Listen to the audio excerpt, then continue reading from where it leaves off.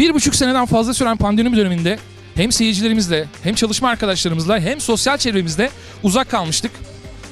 Eskişehir Büyükşehir Belediyesi'nin yaptığı bu etkinlikle tekrar kondisyon toplamaya, tekrar kendimiz gibi olmaya, tekrar müzik üretmeye devam etmeye çalışacağız.